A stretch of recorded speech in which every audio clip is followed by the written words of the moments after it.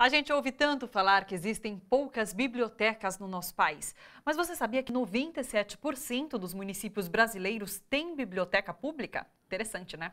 O número de um levantamento do IBGE. As bibliotecas são o segundo meio de acesso à cultura mais difundido do país, atrás apenas da televisão aberta. Em cada prateleira, dezenas de portas que levam a diferentes mundos. São páginas repletas de histórias, registros, informações.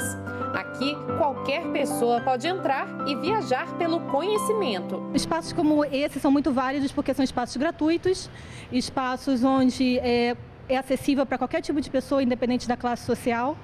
E é, é, funciona praticamente quase no horário comercial e até um pouco mais. E é, isso é válido, inclusive finais de semana, onde as pessoas geralmente, finais de semana, não, não costumam praticar outros tipos de atividade. A Biblioteca Popular Municipal de Botafogo, no Rio de Janeiro, batizada de Machado de Assis, recebe em torno de 2 mil pessoas por mês e promove, além da leitura, palestras e cursos na área cultural.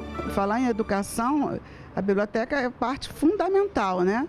onde a, a, comunidade tem livre acesso né, a toda a área do conhecimento. Há 15 anos, espaços como esse estavam em 76% das cidades brasileiras. Hoje, praticamente todo município, cerca de 97%, tem pelo menos uma biblioteca pública. É o segundo meio de acesso à cultura mais difundido do país, atrás apenas da televisão aberta. Os dados são do IBGE, que investigou a produção e consumo de cultura nas cidades e estados do país. Para o ministro da Cultura, Juca Ferreira, a presença universal das bibliotecas públicas é resultado de uma política nacional. Temos hoje um Plano Nacional de Cultura, temos um Sistema Nacional de Cultura que nós, inclusive, estamos reformulando no sentido de ampliá-lo nesse momento.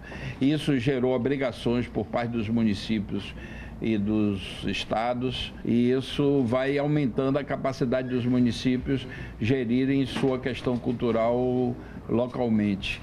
A pesquisa do IBGE mostrou que os meios de acesso a conteúdo cultural que mais cresceram de 2006 a 2014 nos municípios foram revistas impressas locais, TVs comunitárias, centros culturais e provedores de internet. Houve diminuição de videolocadoras, lojas de discos, CDs, fitas e DVDs, clubes ou associações recreativas e livrarias. O artesanato, com destaque para o bordado, foi a atividade cultural mais presente nas cidades, seguido pelas manifestações tradicionais, dança e banda musical. Nos últimos anos, também cresceu a produção audiovisual. Fizemos uma política de é, nacionalizar o cinema e a produção audiovisual. Hoje tem produtora de cinema e de audiovisual em todos os estados do Brasil, em todas as capitais e algumas cidades de médio porte. Hoje tem um cinema pernambucano, hoje tem um cinema cearense, hoje tem um cinema da região norte hoje, e os números revelam isso.